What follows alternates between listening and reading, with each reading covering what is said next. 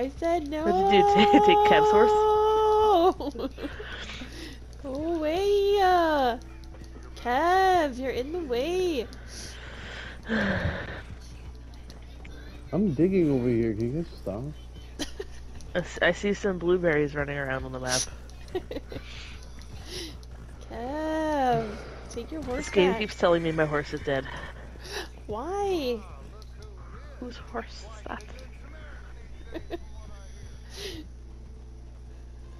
Oh my god, and you guys are bothering Gus? what if he hates us? Will he not? Oh my god!